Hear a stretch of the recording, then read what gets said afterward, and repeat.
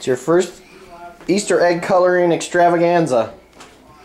Here's your eggs.